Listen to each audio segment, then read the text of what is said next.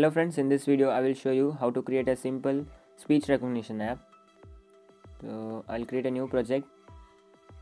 I will name it as speech recognition. Yes. Now I'll place a button and I'll rename it as speak. I'll rename it as speak. And next I will place an edit text and set the width to match parent. Yeah that's it. Next on button click we have to perform some action. So for that we need a component that is speech to text component. This component will convert speech into text. I'll name it as sp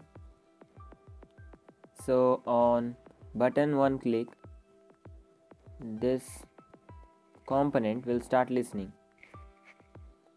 Next this speech to text on this component on speech result is going to display the result in edit text.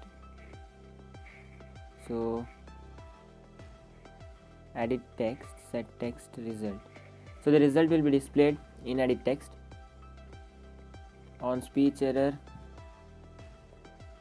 we'll toast it. We'll toast the error message if we get any error yeah. Let me save the project. Okay. The project is running uh, the app is running. Oh it's building actually. Okay.